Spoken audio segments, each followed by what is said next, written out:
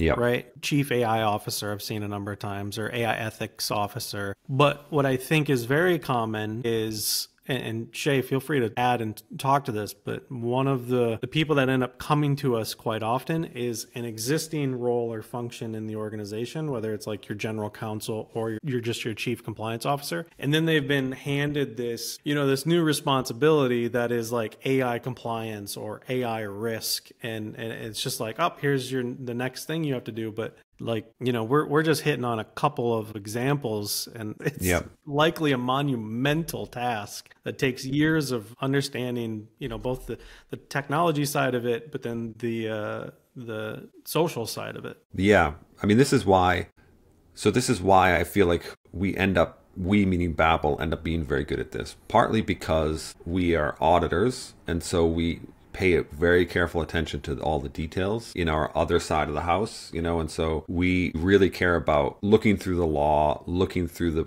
standards, and just paying attention to the details. But we're also educators you know and we and scientists. A lot of us or like at least have scientific kind of rigorous thinking. And so we are we are we default to like boiling things down to first principles and making things simple so that they can be communicated to other people. And that's what our training is about that's what our internal training for our team and the onboarding is about. It's all about can you get rid of, filter out things that don't matter, focus on things that do matter most at this time, and do it in a way that you ha- have a mental, like a conceptual framework, a procedural framework for like moving constantly forward. And that's what people are missing because it's not like any of this stuff is rocket science. It's not rocket science. It's just you have to clear away all of the crap because if you look at a list like this how 100 page MIT thing, you're going to be like, oh my God.